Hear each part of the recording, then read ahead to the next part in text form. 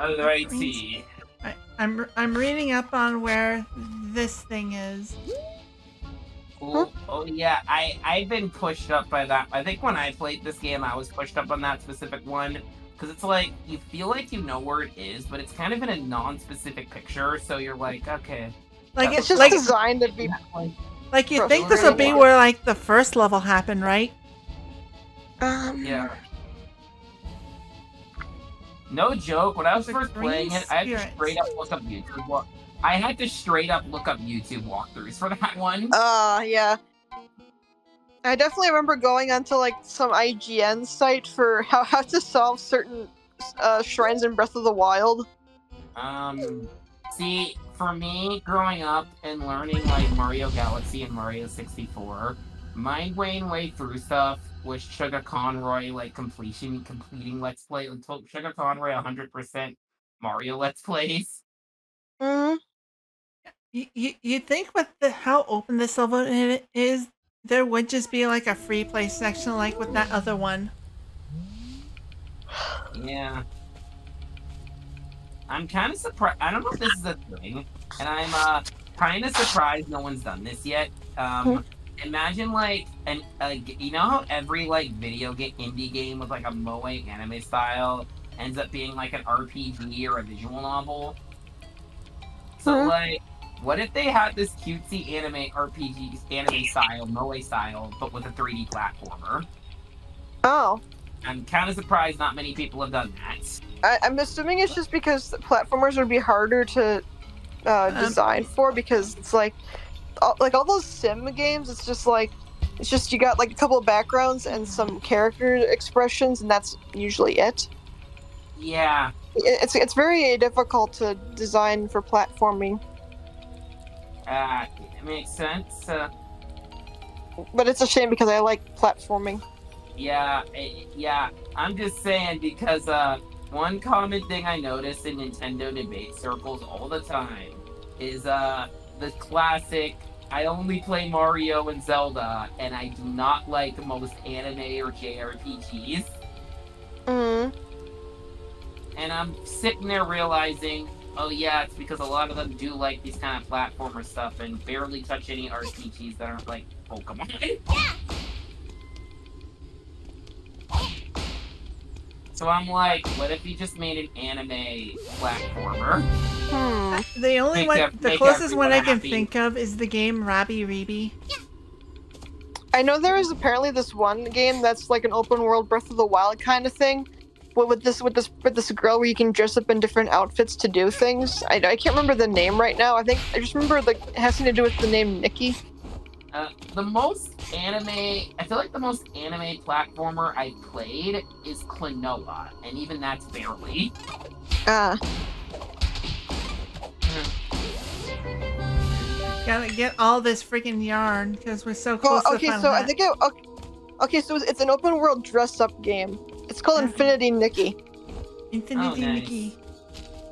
Infinity Stone Nikki, Infinity Stone Epic Nikki. Hey, the Nikki, first you're so full fine. 3D You're so dress-up fine. You're so fine. Hey, Nikki.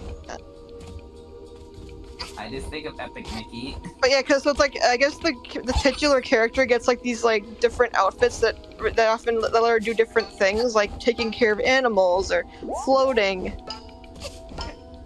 Sounds a little like the set to Card Captor Sakura, actually. Oh, oh maybe.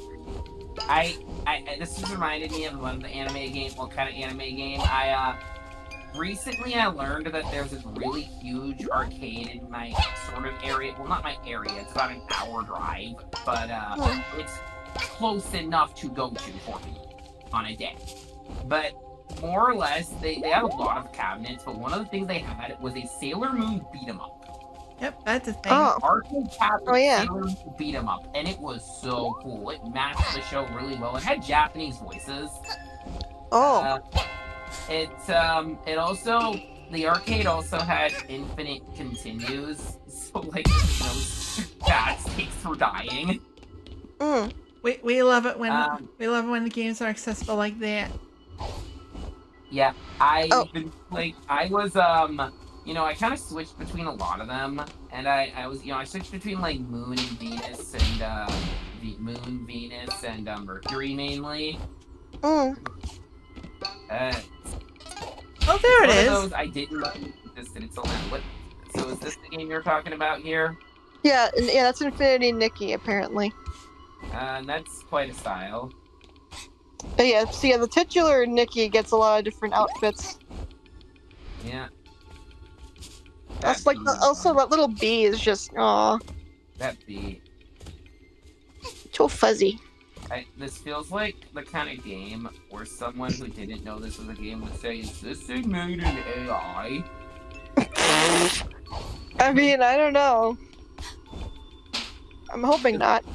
That seems to be an argument you see a lot now because. I mean, I, I, people just always assume like everything is possibly AI, Yeah. and sometimes, and sometimes like, oh, if it's something that's badly made, but it, like, people can make bad things. Yeah, people just make bad things. Not Like, I know AI can be very weird, Yeah. but you know, people can, people can are capable of creating Like- bad things. honestly. I mean, the- just look at whenever I Seth see a MacFarlane. bad- Whenever I see a badly made AI thing, it's usually got two things. It's either uncanny as hell or so obviously corporate safe. I mean, my thing is that I usually kind of see like some weird distortion in the face or messed up hands.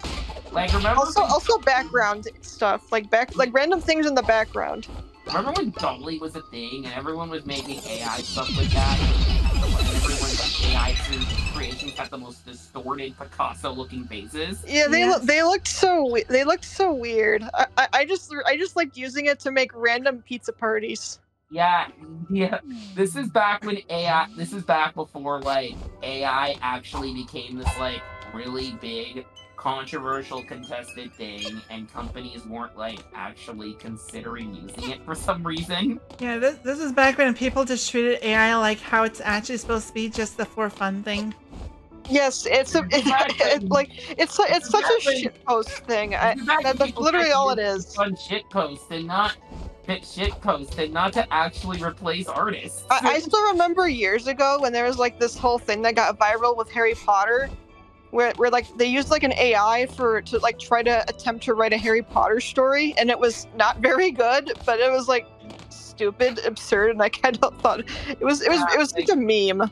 You're supposed to. Yeah, I feel like it's better. Like that's the whole point. Like it's it's not it wasn't even that good. Like when people were trying to actually pass AI off to a serious art or writing, I just think to like the random weird shit chat GPT spits out, and I'm like, you want to that like on with television stuff? It's it's not good. It, that does that, that doesn't even work. Exactly. Because it's like it's just gonna make it's just gonna make the content be very mediocre and overly polite. I've actually, I've before where I've asked Chat GPT to like tell me your favorite episodes of shows. It'll straight up make up episodes.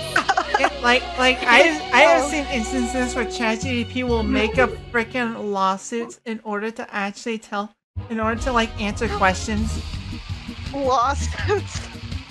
Yeah. Like I've seen people ask ask AI for like case law stuff. What's What's Ooh, funny funny. is at my job, at my job, there was this one coworker I had who was kind of, I think he was in college, and uh, no joke. For reference, I was at the time working in the emergency department, and we were at the Uh-huh. computer to register people, and uh, I'm looking over at this guy, and he's using AI to help. and He's using ChatGPT to help him with his college it's like, oh, like instead it's like originally, oh hey, let's get this random person to do my homework for me. Now Oh, let's- just have the AI do it. it. What's also funny is my sister is a teacher, and uh, she has straight up had problems with students obviously writing papers in Chat GPT. Gosh, yeah. I mean, I I'm not surprised though because you know most you know kids don't want to do homework. Yeah, They, they'll, they'll, they'll do about, they'll do anything to make it easy. they- they- they even if it's not- even if it just means not doing it. Like I freaking hated homework. Yeah, kids just do anything because it's- I, my thing with homework was the ones that annoyed me the most was math homework. Not because the math was hard necessarily, but because math homework always felt like it was trolling you. Because Oh. like the teacher would be like, "Okay, we're gonna do problems like five through ten out of the math book tonight for homework," And then you look at the pro- and you think, oh, only five questions? That's easy. And then you get home, look at the assignment, and it's like question five A, question five B. Oh, oh, I hate that. That, that. That's a lie. Such a lie. That's straight up lying. Like it's clickbait almost. Yeah, I, I, I know with I know I def I probably was like low key plagiarizing Wikipedia at times because I was No not very good at like wording myself well.